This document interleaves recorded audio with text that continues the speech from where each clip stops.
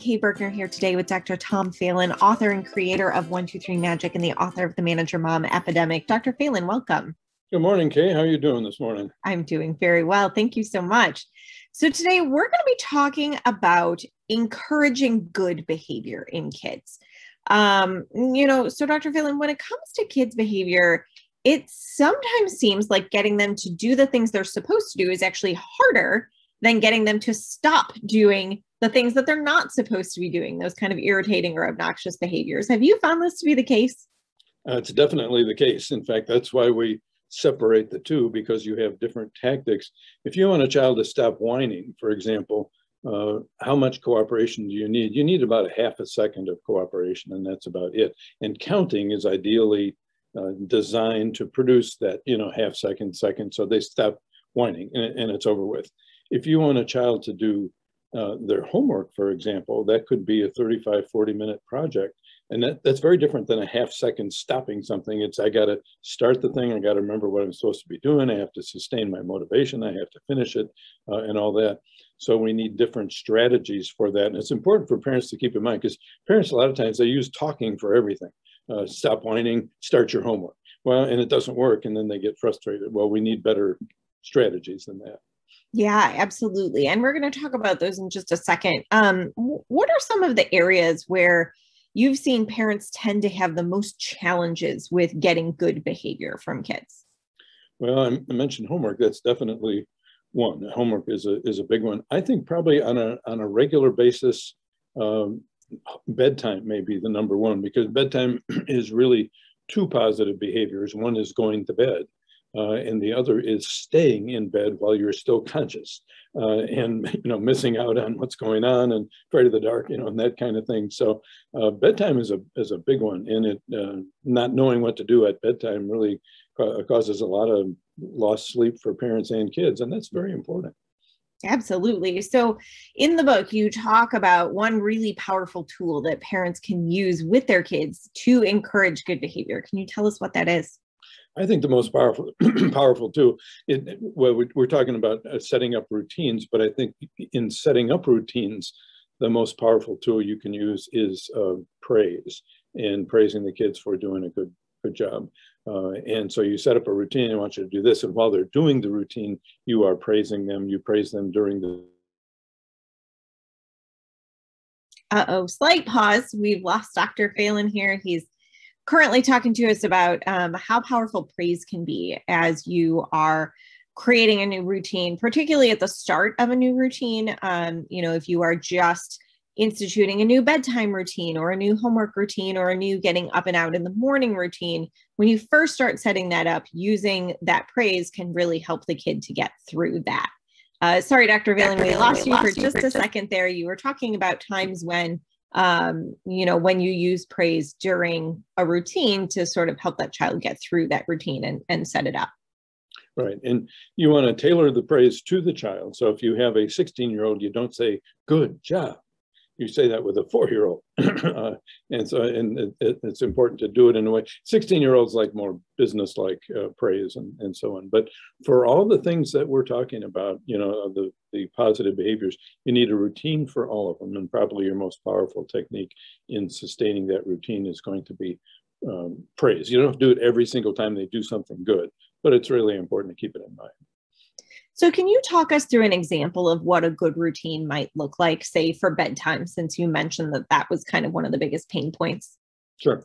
Bedtime, and like other routines, it, the bedtime, it starts with same time, same place. You're going to do things the same way. And the first thing with bedtime is you pick a bedtime and then you stick with it. Uh, so maybe you pick nine o'clock. You have a nine year old, maybe nine o'clock is going to be bedtime. And then what you do with a nine, nine year old is at 8.30 is a time to get ready for bed. And that means they have to do everything required to get ready for bed on their own without being reminded. When they're done, they check in with you. And whatever time is left before nine o'clock is time for just sitting on the bed talking or story if you want. Uh, you could read a you know, read read a book or whatever till um, nine o'clock. And that time with you is an automatic reinforcer of their getting ready independently, of their being independent, and it helps relax them and calm them down for bed. Um, and then nine o'clock rolls around, it's lights out, um, and um, you leave the room. you know, hopefully uh, they don't follow you. You have to have a routine for that as, as well. But the, the main thing is same time, same place. Homework, four o'clock is homework time. We're going to do it the same way every day. And what you're also trying to do as a parent is get yourself out of that. And what that means is you're going to reinforce the kids more uh, for starting on their own without being reminded. Uh, says we parents are chronic supervisors. We're terrible. Uh, we got to have our nose in there all the time, no matter what the age of the kid. You got a 17 year old, you say, do you have any homework? That's terrible. That's awful. so we want to get rid of ourselves. Fantastic. So, uh, you know, as we're going through the routines, obviously consistency is really important, using praise to help keep kids on track and, and reinforce the good behavior. What should a parent do if a child gets off track during a routine? Maybe they've gotten distracted or maybe they start misbehaving mid routine. How do you kind of deal with what is a negative behavior in the middle of trying to build a positive behavior?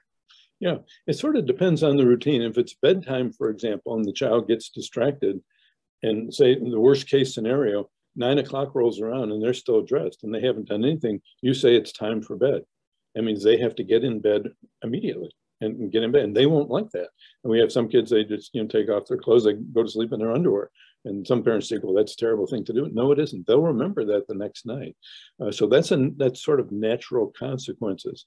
With homework, you could do the same thing if the child's old enough, if they're over nine, and they don't do their homework, and if you have the guts. Uh, you could do natural consequences where they go to school the next day and they don't have their homework done, and you can see what what happens. If the child, on the other hand, is uh, tantruming and you know throwing a fit or whining or whatever, you may go back to counting. Now, if they go to counting uh, and they need a rest period or something like that, they're going to serve the rest period, and that time is going to come out of the time they needed for their positive behavior. But while you're doing uh, during during all this is no lecturing, no nagging, no reminding. All that stuff is a real uh, killer that takes the responsibility away from your son or daughter. Absolutely. Um, so then just one last question before we wrap up here. You talk about um, no no reminding kind of as you're going through a routine at what age can you start setting up routines and and kind of what length can those routines be um, for children. Obviously, uh, what a four year old is going to be able to do is very different from what your nine or 10 year old or your 16 year old is able to do. Yeah. And again, it'll depend on the routine, but a rule of thumb that we use is the uh, six year old 10 minutes, seven year old 20 minutes, eight year old 30 minutes, nine year old 40 minutes. And what that means is that a typical, typically developing child can sustain the organizational and attentional behavior necessary to complete a task that's semi boring to the, to those levels. So six year old, uh, 10 minutes, and a nine year old, 40 minutes. Uh, and that's what you want to keep in mind. It's, it's, it's very general, but it gives you something to hang your head on. And that means a nine year old should be able to do their homework. They should be able to get ready for bed uh, and, and so on. And of course, the teens should be able to handle uh, all that stuff if you set it up correctly. Fantastic. Well, thank you so much, Dr. Phelan. This has been terrific. Thank you for joining us. If you'd like to go a little bit deeper into this topic of encouraging good behavior, Dr. Phelan will be doing a free seminar on that. So we'll put the registration link on our Facebook page. And additionally, if you head on over to 123magic.com and get signed up for our newsletter, we send out event reminders, parenting tips, and more every week. Thanks so much for joining us, and we'll talk to you soon.